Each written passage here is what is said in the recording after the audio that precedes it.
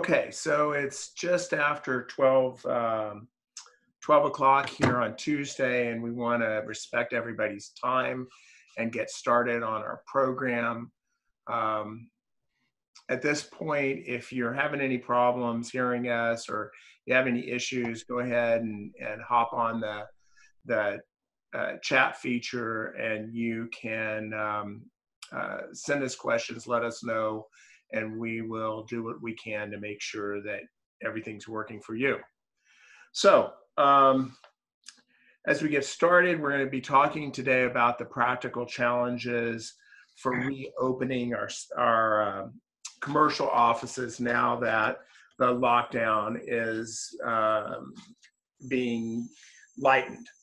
Um, this webinar is being sponsored by the Commercial Real Estate Professionals Network here in San Francisco. The network is a group of real estate professionals who are committed to educating the commercial real estate industry regarding changes in the industry and trends.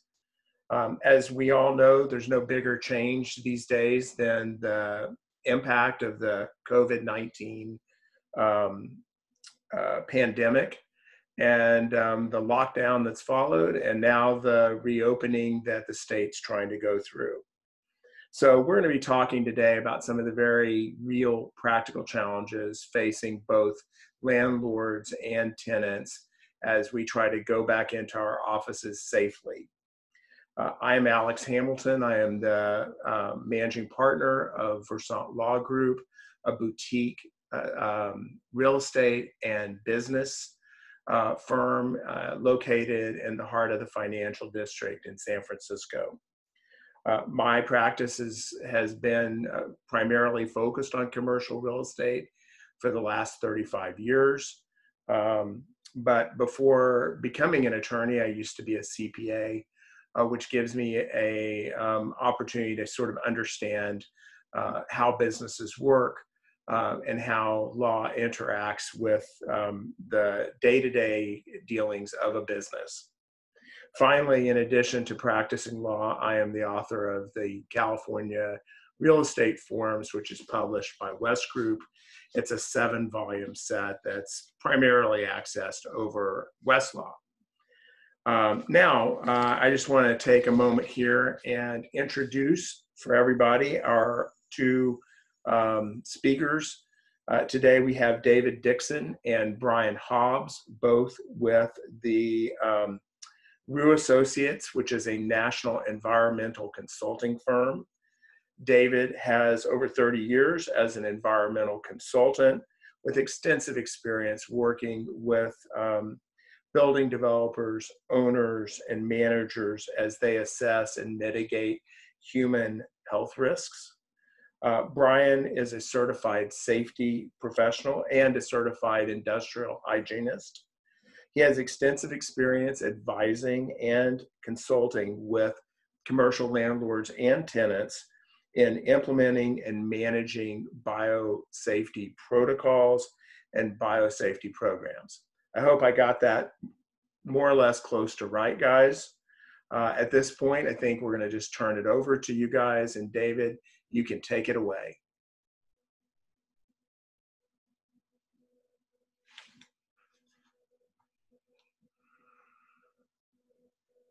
Yeah, Eric, could you show the slide deck? I'm not seeing them show up right now.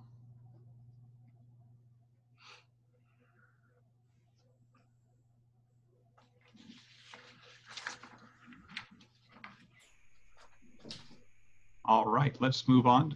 Oh, I think we're at the end right here.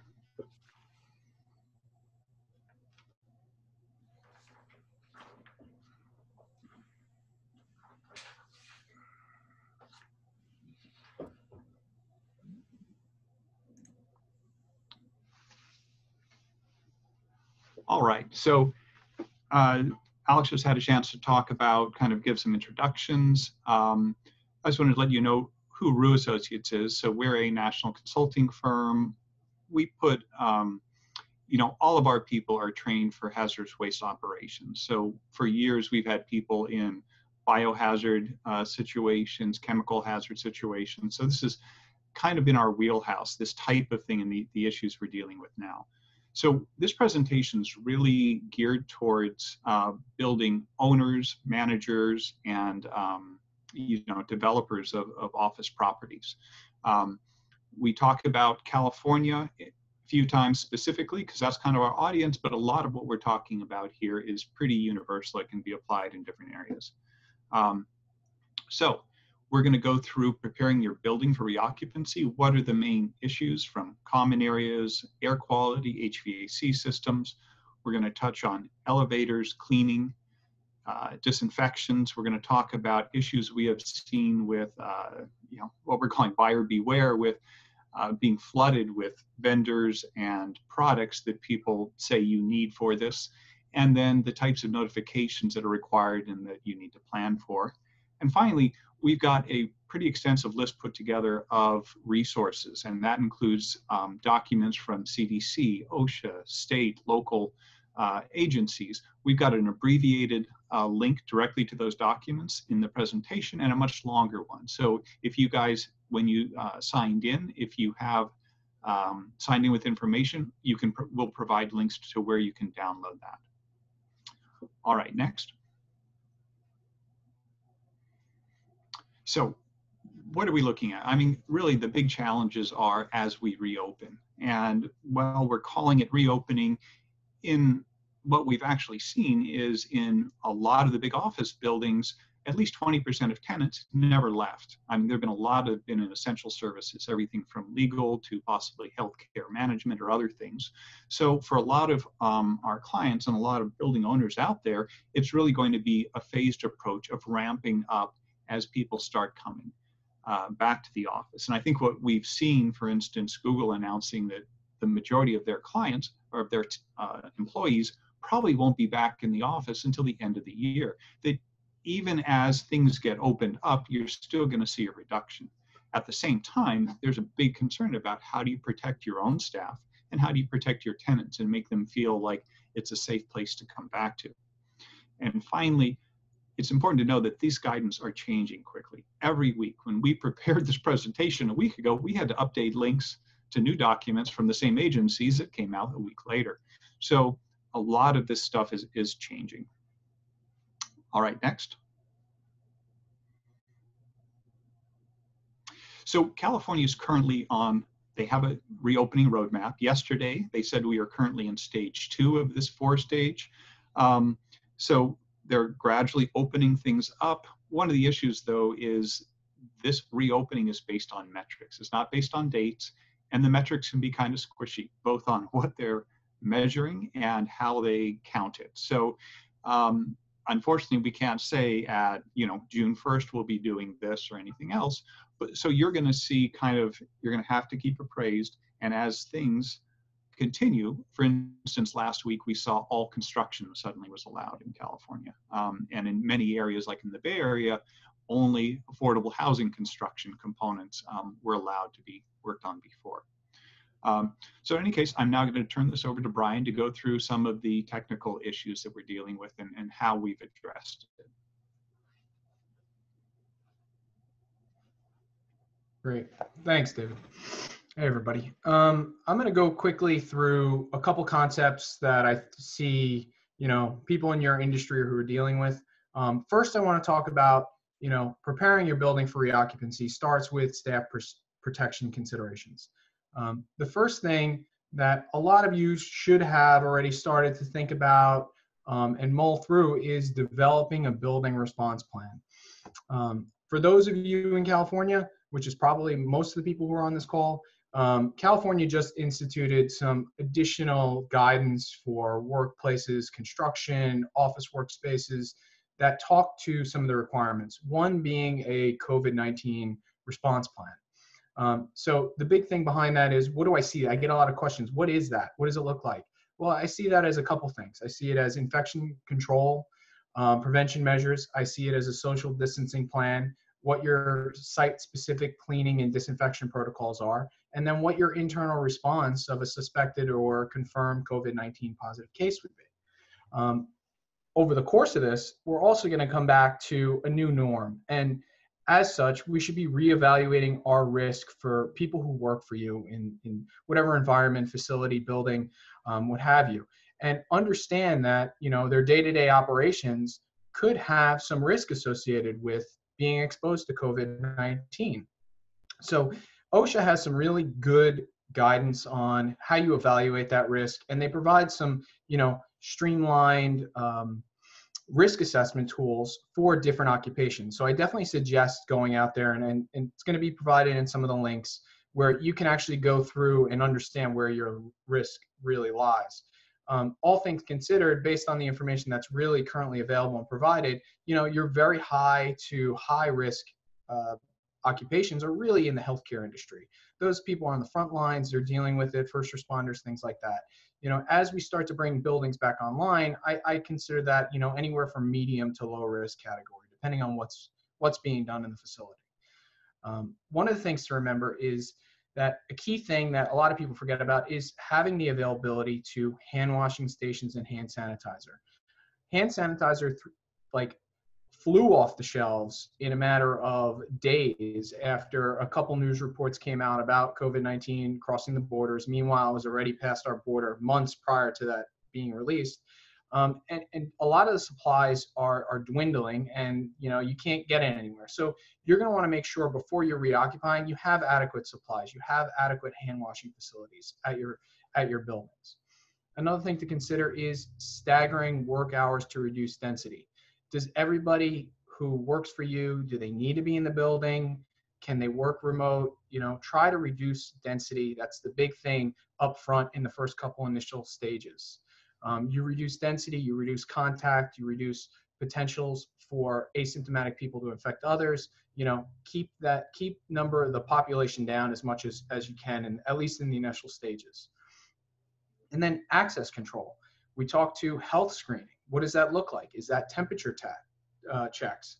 Is that forms, questionnaires that people fill out? Do people go out for the antibody or for the, the actual test for the virus? In some cases, it's hard to, to get.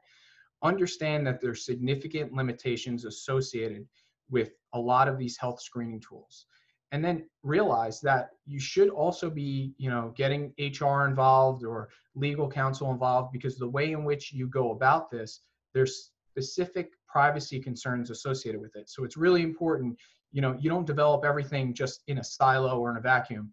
You need to pull in specific stakeholders to address a lot of these concerns. Um, and the one thing that I wanted to just throw in here, and, and I've been hearing a lot of this lately, and I go to stores and I see certain things as far as signage goes. You know, at least in the early stages, if you're developing logistics plans like one way offices, you know, understanding where people go, where, where people can't go, you know, how, how many staff do you need on site to actually enforce social distancing guidance?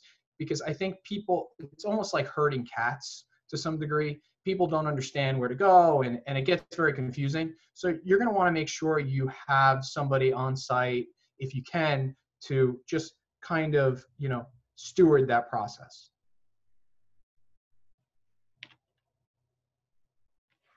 Next slide.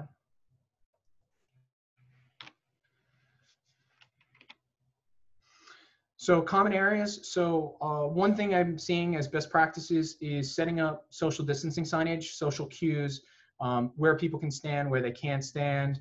Um, thinking about you know lobbies, rearranging furniture to promote social distancing, or remove seating entirely you know uh, you want to reduce anywhere where multiple people can congregate in one area as much as possible at least in the initial stages of this whole thing as we start to bring people back online and then going back to i mean i've dealt with laboratories for a very long time and one of the things that always came up was we would not allow for porous materials to be allowed into the lab because it becomes very onerous to actually clean and disinfect this material in most cases, we'd actually, if it was contaminated, we'd take it, dispose of it as biohazard, and have it sent off for incineration. Um, here, that wouldn't be the case, but think about how you stage furniture. Do you need the furniture there? Is it porous? If it is, then maybe you should either think about, you know, how can you encapsulate it, wrap it temporarily, because it's going to be very difficult to clean and disinfect. And then controlling access, going to quickly touch on this. This has to do with thermal tenant screening. There's a lot of new products out there and um, new devices where people you, you could look into it and they scan your face and they tell you whether or not you have a temperature or not. There's some limitations associated with that, and, and you really need to vet those technologies first before you pull the trigger and just spend $100,000 because it, it really it may not make sense for your specific application. And I have a note at the bottom, and, and this goes for everything, especially now, communication is key. You want to be as transparent as you can with your tenants, with your key stakeholders, so they understand what you're doing is in the best interest of not only the, you know, the facility you work for, the building you own, but also the health and safety of you know, the tenants, the community, um, and everyone else, because they want to understand. There's there's a huge fear of the unknown right now, and and there's a lot of that because we're still getting a lot more scientific data, and we're starting starting to understand how this really you know moves about and and transmits. So it's really important that you upfront have, have that transparent communication. Um, just quickly, I want to talk about additional common area um, topics. So this would have to do with staggering work shifts to reduce crowding during peak hours. I get this question a lot. How am I going to reduce, you know, people in the lobby? Um, and I, I, think that if you work with your tenants to understand, you know, when do people come in? How can we funnel them through quickly, process people? Um, and understand that if you can stagger those times, you're reducing the potential for touch points and be able to enforce more social distancing. Um, common bathrooms, this is another one. Um, and, I, and I just wanted to mention too, if you do have visitors to the site or things like that, you kind of want to dedicate certain locations like a bathroom or you know facilities that they can use because it's really important from a contact tracing standpoint that you reduce them going into another space that could potentially infect others in the workplace. So it's really important to dedicate that. But as far as the common bathrooms go, you want to remove touch points. Like everybody touches everything. Um, so you're looking at sink faucets, you know, towel dispensers, doors, um, I worked at a facility that we spent probably $2 million just redoing the doors to hand wave operation because we were fearful of cross contamination. Um, so it's really important that you start thinking about it. Some should be sh short term measures where you prop doors open, and then long term, maybe you put in the hand wave. And then um, exhaust fans. You should be running exhaust fans in those common bathroom areas 24 7. Um, there have been some studies where um, virus was detected in fecal matter, and there's also studies that show you flush a toilet, there's significant bioaerosols that are generated from it. Am I saying that it's a mode of transmission? No, not right now. I don't have that scientific data, but from a standpoint that you have all these things going on and more people getting processed through these areas because they have to go to the bathroom, you should have ample ventilation in these spaces. Um, food services and kitchen areas. So this is another one. It's trying to set up effective social distancing. We have in here discourage everyone leaving the site for lunch. Um, I, I, think it's hard to manage that, but I think that if you can set up workplaces and cafeterias in a sense that you could still maintain social distancing and have adequate ventilation, um, you'll be better for it. So air quality concerns. We get a lot of questions on, you know, what is what is this what is ventilation exhaust ventilation going to look like you know post covid-19 there's a lot of information that is going out there as terms of super spreaders. This is big because if you're in areas in workplaces where there isn't significant ventilation and it, it's very poor ventilation you're not getting the air exchanges you need you know there is a chance that you are going to potentially transmit it if the person's asymptomatic and they're talking um, there, has been cases of this, and you're going to see more and more of this come out in the news. Um, so it's really important that you know certain um, certain guidelines have been established to basically minimize the potential for infectious aerosols. So I'm going to point you to basically ASHRAE came out with a position document on infectious aerosols where they updated some guidance. Now it's it's a lot of information, so I'm not going to go through all of it now but it's really important. I'm going to touch on just a couple key key aspects of this. Um, you're going to want to think to installing MERV 13 filters or higher in your systems. Um, and I, the caveat to that is you want to make sure your system can actually handle this. There could be pressure drops in the ventilation um, and other considerations that you know are specific to your site. So you're going to want to talk to your HVAC contractor now and get an understanding because I can tell you it's it's likely that a lot of the supplies for filters and other um, measures that upgrades and modifications to systems, HVAC systems, uh, are going to be in short supply, uh, at least initially. So start talking and engaging with your HVAC contractors to get that on board and making upgrades. And then you're also going to want to consider increasing your outdoor air ventilation.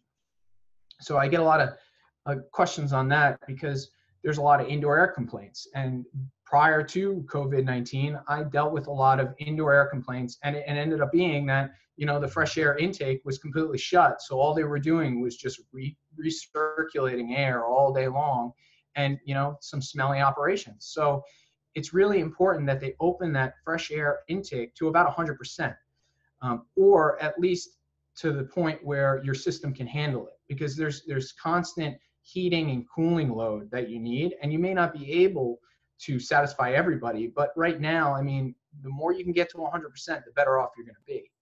Um, and you also want to consider running the HVAC system, you know, two hours prior to and after normal occupancy in flush modes. So you've seen, I've seen that in, you know, LEED accredited buildings where you're flushing, flushing out the buildings after you put furnitures, fixtures, things like that in there. And that's to reduce the overall VOC content, content in the space. So this kind of is the same premise. You're kind of flushing the building out of potential bioaerosols. Um, the other piece to this is, and I don't have listed on the slide, is you also want to maintain a certain humidity. And I believe the humidity is anywhere from like 40 to 60%. And that's prime because that helps, you know, put those particles, when somebody coughs, sneezes in the air, those large particles settle they they won't they won't sit in the air very long. So in like very dry air, um, if somebody sneezes, you know, the large particles settle out, but then that the small ones will actually sit and float in the air, and they can be in the air for quite some time. So trying to shoot for that 40 to 60 humidity is a, is a really good step point. And then on the flip side, you know, as a result of cleaning and disinfection, and we'll talk to that in a couple slides, you know, increased disinfection is going to end up meaning more chemicals in the air. So what is that going to look like for, for your building? Um, so it's really important to understand that, hey, you know, should you be cleaning and disinfecting when people are right there? I mean, you have to develop site specific protocols to understand and think about all the things that you're doing, um, which could impact, you know, health and safety on other fronts. So that goes back to indoor air quality. So you want to make sure that if you are doing that with chemicals, you have ample ventilation. And then Legionella, I'm going to quickly touch on. So if you had to shut shut off building systems um, and you know just leave and, and wash your hands, close up and leave, what ends up happening is you know Legionella could basically grow if it has right conditions and typically depending on where that water temperature fluctuates to if it's prime condition for growth, you could see pretty rampant growth and anywhere from seven to 10 days in a dormant HVAC system. So it's really important to understand that. Um, there's guidance that the CDC has issued for um, bringing back cooling towers, I believe, and HVAC systems, as well as the American Industrial Hygiene Association also has guidance on bringing some of those systems back online. So definitely good resources. So elevators, this is the um, I, I, think a big topic that everybody has a lot of questions on how do i you know manage people going in and out of the elevators? And and right now i, I don't have a silver bullet. Um, a lot of the guidance that's out there basically says just limit the number of people in it. Um, does that does that help us very much? Probably not. Um, so you're going to want to think about how you can actually vent these elevator cabins more um, and, and, consider that you know many older elevator units probably you retrofitted and made really nice modern and when you did that you actually blocked any of the actual vents um, to the cab. So you're actually just getting stale air in the elevator cab. So it's really important to, to consider upgrading your elevator elevator ventilation and make sure you're not blocking any of these vents. Um, right now i don't believe there's any standard elevator filtration units that you can purchase in the market. I just haven't seen anything yet, and anything I have seen has been from overseas. Um, so it's really in the next like couple weeks, months. I think you're going to see an increase in um, elevator companies trying to look at how do they vent out and provide other means to you know circulate air better and clean the air in these elevator uh, cabs. And then just lastly, traffic management. This goes back to social distancing and staggering people coming in and out. If you're able to stagger times for people to come in and out, you're going to end up limiting the number of total people and you're not going to have people waiting as much. So you're going to want to also limit the number of people in the elevators. So that's that's a key thing. Um, and probably most likely in most states, they're still going to require cloth face coverings. So that actually limits, that'll potentially limit, you know, anybody transmitting uh, anything just by standard breathing. Uh, so the big thing to understand is if you do have two people in there, they shouldn't be in there talking to each other. That's just, you're just spewing, you know, potential virus, viral particles in the air. That's not needed. So, you know, establish clear guidelines on how to use the elevator and then just make sure in those first couple weeks that you start to bring people back in if you have to have security there if you have to have you know an attendant so they can funnel people in and out safely that would be better. And going back to you know see if you can encourage use of stairwells on the lower floors and then have one that goes up and one that goes down um, and that's just to limit any sort of contact between people. So cleaning considerations so we get a lot of questions on this, and it's funny because we went best practice right away was the minute I had a COVID positive individual in my building, I'm cleaning everything. I am fogging everything. I am fumigating everything. And that's that's how it was carried out in the early stage of the stages. So it's since been slightly changed, um, and that's based on we've we've had and seen some studies that show how long the virus actually lives on surfaces. Um, and New England Journal of Medicine published a study that you know the SARS-CoV-2 virus can live on surfaces from anywhere from four to 72 hours, um, and, and, that ranges depending on temperature and humidity. Um, so the big thing with that is you know four hours for copper. So copper has its own antimicrobial uh, properties, and cardboard was 24 hours, stainless steel was 48 hours, and then your typical plastics are 72 hours. So in a common workplace, you're seeing a lot of, you know, nice door handles that are probably stainless steel or likely not copper or copper alloy. Um, your plastics that you touch regularly, um, buttons, things like that. So it, it can live on surfaces for a significant amount of time. So that's why it's really important you develop a good cleaning and disinfectant protocol for all those high touch surfaces. And I'll get to that in a second. So the CDC issued an updated guidance for cleaning like after a COVID positive person has entered your building. So a lot of folks who haven't been in their buildings in the last, you know, let's say 20, 30 days, you know, I get requests, hey, I want to come in and do a deep clean for COVID 19. You know, you really don't have to do that based on the guidance. I mean, it's unless somebody went in there and touched everything and coughed and spewed over everything, then then I'd say, yeah, definitely you need to do something. But if nobody's been in the space, theoretically COVID-19 didn't just magically appear. So it's really not something you need to do. Um, and going back to routine enhanced cleaning, the LA Department of Health actually put, provide us a very good detailed matrix on how, how you can outline your cleaning and disinfecting protocol. So it's really important to understand that you know, routine cleaning should happen all the time. That's like touching surfaces that cleaning surfaces that aren't readily touched. Whereas like your enhanced deep cleaning, that should be your high touch surfaces where you go through, you clean with a soap um, or a surfactant, you wipe it down so you get the dirt, grime, biofilm, whatever, and then you go back and you use a disinfectant which will kill it. But the big thing with that is you need to make sure you're using the right disinfectant for the right surface. So the manufacturer specifies different disinfectants for specific applications. So those applications you want to make sure are in line with what your protocol is saying. I do get a lot of questions. Can our existing staff or janitorial service, you know, do this kind of cleaning? And I, I think that if they're properly trained and they understand what the risks are from an OSHA perspective as well as from a CDC guidelines perspective on how to clean, I think existing staff and janitorial services will likely be able to do your standard enhanced deep cleaning and enhanced cleaning and disinfection, sorry, um, for those high touch surfaces. Um, we also get a lot of questions on when to call a specialist. So deep cleaning.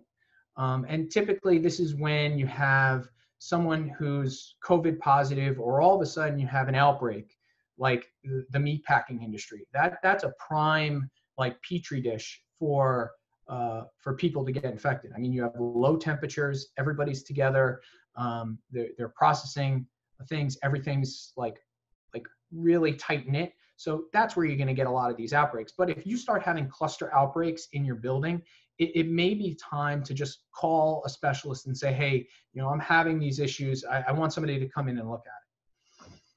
And then what to clean and surface air testing. So we get a lot of questions on, hey, what do we clean? Originally, it was we're going to clean everything. Like we're going to write down surfaces that nobody's ever going to touch. So that really didn't make a lot of sense. So really, it's the focus should be on high touch surfaces um, and and making sure that you're approaching those in a way where you're cleaning it with the correct disinfect. Uh, you're cleaning with the right disinfectant as well, um, and making sure that you're covering all the areas.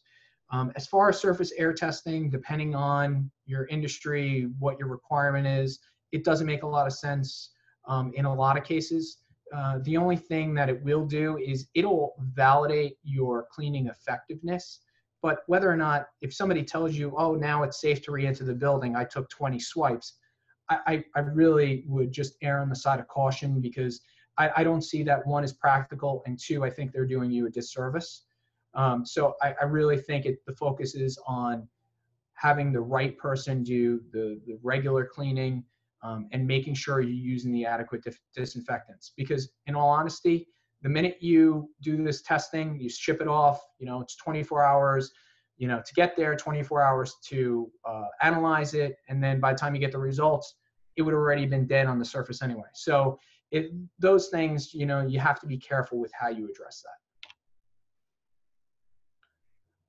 And then lastly, I'm not going to read everything. Um, this is a lot of information, but the LA County Department of Health has a cleaning matrix. We're providing the link for everybody who's on the um, on attendance, um, and you know go through it. There's a lot of useful information out there that you can start to pull from, um, and don't get you know fooled. And and dave i'm going to hand it over to dave and he's going to finish up the presentation but there's there's a lot of things out there that are very useful. Hi there. So one of the things that we've seen is a lot of uh, vendors potentially capitalizing on the pandemic and the fear to sell products and you have to be careful to really realize what you may or may not need um, as Brian talked about, we've had clients that have first notification, they'll spend 30, 40, 50,000 to have a deep cleaning. And that's what a vendor's telling them they need to do. Whereas in reality, as this uh, is projected to increase the number of people with this, you may be getting notifications every week that someone in your building has been that. And it's probably not sustainable to shut things down and to do that cleaning. In the building we're in in downtown Oakland, our um, our landlord said if we find we hear of anyone in a building that's that's positive, we're going to shut the whole building down. Everyone's out. We're going to clean everything. That's just not going to be sustainable. Um, so making sure you're realistic about what's really necessary. Um, that's where we've tried to help steer clients into what is and isn't appropriate. Um, and then Brian talked on post cleanup testing. Again, the swabs and the wipe samples are not that common, but they are starting to, to ramp up. It is possible to test, but know that it's going to take probably 24 hours to send it to one of the few labs that does it, another 24 hours to get the results back. So you're going to have two days of tenants going back and forth in the building before you even get those results. And the moment a tenant comes back in, those results are pretty much meaningless as far as being able to say it's clean or not clean. So be wary of any sampling except if you're just trying to confirm that the cleaning was effective at that moment and that the contractor is doing the right work. The other thing we've seen is, you know, safe touch products, products that uh, could be stickers you put on door frames, uh, it could be emulsions or paints you put on stuff that uh, could be self-sanitizing very many of these where we've actually gone in and we've requested white paper studies from the vendors doing it, they can't find it or they can't provide it. Or in one case, they even told us, no, we're not allowed to provide that. So there's very little data on some of these products that they kill, you know, bacteria, viruses, or anything. So really make sure you do your homework. There's going to be, there's a lot of stuff now where people are pushing these products that may not be effective. Next slide. So notifications and actions. So this is important. A lot of localities, uh, departments of health, cities, counties are requiring that building managers uh, basically notify them if they've had a COVID positive person in the building and they're trying to keep track of what's going on. So make sure you know your locality and that you're complying with that. The other thing is you need to establish procedures now for requiring tenants to notify you if they've had someone COVID positive in the building. So make sure that's clear. Um, this and then on the next bullet I'm going to talk about, you probably want to vet that through your legal counsel to make sure that uh, what you're asking for is appropriate and what you're expecting is appropriate. Because um, the other is establish procedures to notify the rest of your tenants if you get a notification from one that there's been someone in the building. Um, make sure you you have that ideally you have that established and those letters prepared before you get your first notification. So you're not trying to whip this up in a few hours.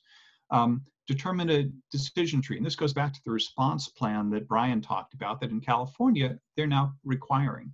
Um, make sure you've got a tr decision tree for what you're cleaning, what disinfection you're doing, that you have this in place and hopefully either your existing janitorial staff or a new you know vendor that can come in and do this and have that set up so you're not in a panic trying to get this done and then a decision tree for your tenant spaces. What we've seen is that a building may pay for and do the cleaning in the common areas elevators but the tenants are actually required to do a certain level of cleaning within their space to make sure it doesn't spread back through the building. And that oftentimes might be the tenant's responsibility to pay for that. So make sure that that's clear too. Uh, next slide.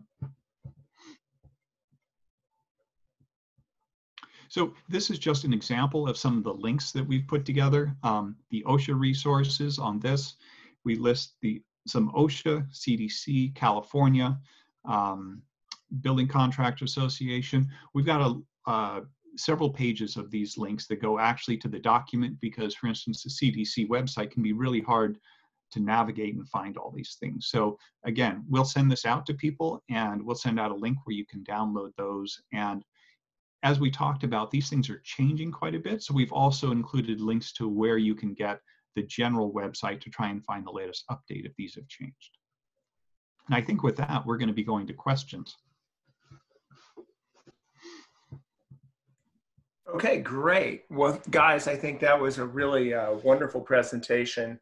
There's obviously a whole lot of information out there, and we just scratched the surface today. Um, before we jump into questions, and we have a few from uh, people who are watching, uh, we all, I'm gonna, uh, I just wanna mention for everybody that this is being recorded. Um, and if you did register and we have your email, we will be sending you a uh, link to the recording. We'll send you a link to these resources. Uh, we have a resource page that we're going to have, and we're going to probably send out a um, feedback survey because uh, this is our second webinar, um, and we're planning on continuing this um, every two or three weeks uh, as we try to address various things that come up. Um, currently, we're going to probably be doing one about some of the legal issues that are involved um, with uh, COVID. That's, uh, as an attorney, I get a lot of questions on that, but it's way beyond what we can do today. So there, we will probably put on a presentation regarding legal issues. We will also be looking at some of the um, uh, opportunities to use virtual um, options like Zoom and some other services to cut down on physical presence um, by people and still conduct business. So that's going to be um, coming up as well. Uh, so uh, make sure that you did leave us your um, your email address. We will send you links to all this stuff. Um, now we're gonna we're gonna jump into some of the questions uh, that have uh, come up, and one of the questions uh, was whether or not um, landlords should allow regular janitorial staff back into tenant spaces or try to push this over onto tenants. Um, uh, as an attorney, if one of my clients came to me and asked me this question, I would say, uh, yes, you really do want to keep your janitorial staff coming in and cleaning. Uh, that way, you control the amount of cleaning that's done, how it's done, uh, and you can um, be alerted to possible issues in tenant spaces. Uh, I mean, remember that uh, anybody who's going to sue is going to go after people with deep pockets. Uh, usually, that's going to mean the landlord and the tenant may or may not have deep pockets. So ultimately, because you're exposed uh, legally, potentially, um, you should be the one to make sure that things are being cleaned adequately um, and that you're protecting your tenants um, in accordance with governmental guidelines and best practices. So um, that would be my answer to that. Do you guys have any thoughts on that, Brian or David? Uh, well, Dave, I'll have you go first. Okay, I was just going to say I've seen um, I several janitorial companies now have been putting out flyers and information saying we're meeting the current CDC training guidance for our uh, you know for our people and we're training them we're getting them up to speed. So making sure that yes you can't just have uh, anyone who hasn't gone through that doing this but I, I see that people are catching up and they want to make sure that you know they keep doing work and they still can work. Go ahead brian. Yeah so i think it, it goes to your point with properly vetting the subcontractors um, that you use for cleaning. And, and that starts with how does a subcontractor on the flip side monitor their own workers health? And that that's another key thing is because you're going to allow visitors outside of your norm to come in and clean your spaces. They could be asymptomatic but if with the proper precautions taken and if you have more control over that i think you're reducing your risk down the line by making sure you have everything up front and the company's doing the right thing great um, so we have a question here about HIPAA rules. Does building management basically sort of identify people who have been tested positive, or is there really probably even a requirement that they be alerted? Um, I'm not sure about the answer to that. That's a great question, and will probably get addressed in the on the legal issues um, webinar when we get that pulled together. Um, one of the things that that um, I'm concerned about personally is is what at what point do we distinguish between uh, in notifying people that somebody's been exposed as compared to somebody actually being tested positive um, and and what are people doing i mean i know that that um, uh, you know personally, my wife got um, a phone call from her doctor, um, which was not the kind of phone call you want, saying, Oh, I'm really sorry, but I had been exposed to COVID 19 before I saw you. And I just wanted to let you know that I had been exposed, and now you may be, have been exposed. Um, sadly, he actually did contract COVID 19. Um, but it's it's one of those things where you know, guys, I'm I'm really curious if you're seeing a distinction between reporting of exposure as compared to actual testing positive. Well, you know, when it comes to HIPAA, again, that's, you know, there's that real balance, and that goes beyond kind of our area of expertise as far as what constitutes, you know, protected privacy versus trying to be alert and contact tracing, you know, everyone in your building. Um, what I've seen is that tenants have said we had someone not giving their name who tested positive. They were in here last Tuesday. Um, they were here half the day, and that was the last time they were here. So, you know, I don't think they're asking for who is it and you know that type of name. But obviously, there's you know HIPAA private medical privacy issues with that. Right, and I do think that they're probably we're probably going to see changes to HIPAA as we go along because I think there is a compelling public interest in knowing if someone you were in contact with actually um, tested positive. So the, these sorts, these two things, um, you know, just uh, are, are going to meet head on uh, legally speaking, and we're going to need uh, laws that that identify um, uh, what you're supposed to be alerted about. Um, I'm really curious um, uh, about what you guys think when a landlord or a tenant should actually do a deep clean. Um, or is it is it sufficient to just sort of um, continue to wipe down and, and disinfect um, common touch surfaces? Well, so I, I, think here the caveat is it, it, it depends on a lot of things, the type of facility you have, the building. Um, you know, we, we brought out that LA County uh, cleaning matrix because it's one of the few agencies we've seen put forward, you know, here's the steps, here's the plan for different types of cleaning depending on the exposure. So again, that's one of the few agency uh, promulgated ones. So that's certainly a starting point. I think that one of the, you know, there's there's a lot of issues as far as, you know, first of all, making sure that your building is as uh, secure as possible so that you've eliminated, you know, through the what we talked about as far as traffic patterns and eliminating touch points. You know, if you keep you know fabric sofas in your lobby and you have to clean those every time, that's going to be crazy.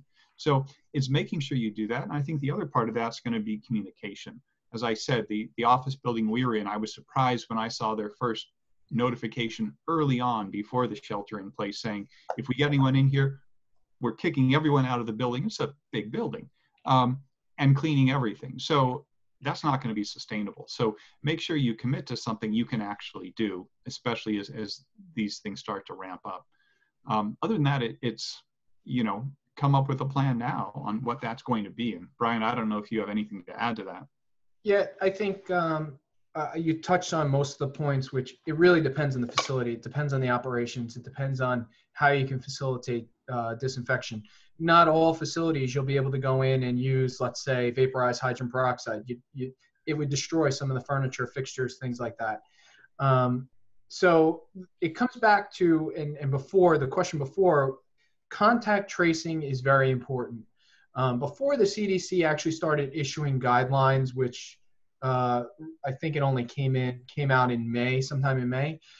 We internally, as far as Roux, um, we developed our own contact tracing program uh, to filter out, I think it was five or six scenarios where we can make educated decisions on, okay, this person contacted this person, this person. So we had a decision tree matrix already established. So it's really important that if you're able to do successful contact tracing, you can eliminate the need to do a deep clean if the person wasn't in, even in that location. So it's really important that from a contact tracing perspective, you can go back and and really go through and dis- clean and disinfect all those surfaces that that person actually came into contact with. And again, you got to remember that anytime you're going to be doing uh, cleaning after a suspected case, you're kind of going to shut down the the area for at least 24 hours. So that allows for the the area to vent out, particles to settle that settle out, and and during that point, there probably should be no viable virus in the air. So that's why it's really key that you follow the CDC guidelines when it comes to, and it's pretty straightforward. The, the site is like my head's going to explode how many times they update the site because I have to constantly look for different things. But if you follow some of the, the outline, what's outlined there, and do contact tracing, I think you'll eliminate the need to do a substantial deep clean every time. So, so Brian, I was really surprised um, when I saw a recent webinar out of China about com- uh, about some of the buildings that um, have installed separate um, uh, air supplies on each floor. And, and then I guess I realized that, that in most buildings uh, that we deal with, um, air supplies are shared. Um, and so air, air circulates from one tenant floor to another tenant floor. Uh, any, any thoughts on, on what uh, tenants or landlords should be doing about this? Uh, are, are, there ways for tenants to install um, uh, air purifiers within their own space? Uh, what can people do to protect themselves? Yes, so that's a, that's a great question. So in the ASHRAE guidance, there's actually specifications that talk to um, different air systems. So I, I, definitely would push everybody to, to go look at that and see where that aligns with how your air systems are set up. And, and it provides like, it'll provide, and I'm just pulling it up right now, so it talks to, you know, centralized and floor by floor variable air volume. It gives a, a couple different outlines of what you need to do. And, and I'll push people to that because every site's going to be different. But there, ha- there was outbreaks prior to this where people could trace back that a whole building got infected because everything was basically just recirculating air the whole time. If we're increasing our fresh air coming into the space and exhausting out the rest of the stuff, you're going to see a significant you know decrease in the potential for cross contaminating other spaces. And and it's really important that's why you want to increase that fresh air intake or more so than anything else. I think down the line what's going to come out of this is from a building engineering standpoint um, engineers are going to think about how they how they can learn from this and engineer out some of these issues. So these these newer buildings that are going to come into play you know they're going to follow suit with those buildings uh, in china that one in particular i know which one you're talking about and they can isolate those locations so they're able to you know exhaust out and vent out spaces. So i see that happening and i also see from an architectural standpoint people already thinking i mean put it this way the hospitals were so like overrun with patients at least i'm in new york so i, I see we were you know ground zero for this whole thing, kind of, um, to a certain extent. And I'm seeing hospitals have to make changes to how they isolate patients. And I see it the same way in building systems is how do we make these adjustments going forward so when the next thing hits, you know, it's a flip of a switch and we're already prepared for it. So I see that um, building systems and architecturally, things are going to change. Are you, uh, another question for you, are you seeing uh, buildings uh, centralized disinfectants uh, or disinfecting procedures for uh, materials coming into the buildings. Uh, I mean, you know, we basic, you know, we've traditionally had furniture, office supplies, Amazon, um, foodstuffs, food deliveries, all this stuff coming willy nilly into buildings. Are you seeing landlords take a more active role in making sure this stuff is is wiped down and disinfected before it goes into tenant spaces? I think early on um, there was special attention to, you know, where where is it coming from? Could it be pot- potentially contaminated? Um, you know, take for example, people going to the supermarket, coming home, they're making videos of how to decontaminate things in line. You have a dirty side, clean side. Um, I, I think it depends on the situation. Um, if you're occupying a new space, let's say you're going to be doing construction and putting up new um, partitions or furniture, I would say right now in the early stages, I would have them do that and then build into the schedule seven days where it just sits there. So you don't have to really worry about it from a contact standpoint. But if you're receiving items as they come in, unless you're using like uh, compressed air to clean anything, it shouldn't be aerosolized. So you really, I don't see a huge need to wipe everything down so long as people are washing their hands, they're not touching their face, they have good hygienic um, procedures in place. do I see it as a need for everything? No, but in some cases, yeah, probably it makes sense. So just one thing to add to that, um, some of the links we included, CDC has come up with, and as well as some other industry groups, guidance for specific industries. They have it just for package delivery. You can go to OSHA and see their guidance for the package industry, how to be safe. They have it for takeout food delivery services. I mean, you know, they really get granular in those types of things. And as a building owner, if let's say you're only allowing certain people to come in, like maybe it's an Instacart or maybe it's a, you know, certain food vendor, make sure they're following that stuff. Make sure that they're following the, the minimum recommended procedures to do that. I'm pretty confident that someone like Amazon or the Postal Service will be stepping up to meet those, but smaller companies may not. So, you know, making sure that downline there's minimum procedures and safety precautions before it comes to your building. That, that makes good sense. Well, we're, coming right up on um, 11 o'clock at this point, and I want to really respect everybody's time. Um, so, um, uh, you know, we'll, I think we'll, we'll wrap it up at this point. Um, encourage everybody to make sure that they've actually um, registered so we, we can um, circulate links and information to everybody. Um, so th- thank you guys for um, uh, for taking the time to prepare and participate today. I've seen a lot of really great comments uh, come in over the chat, so I think our the people who um, are in attendance have gotten a lot out of it, and um, we look forward to um, future webinars, and hopefully they'll be as good as today's. So um, thank you all, and um, everybody stay safe. Okay. Right. Thanks. Bye. Bye.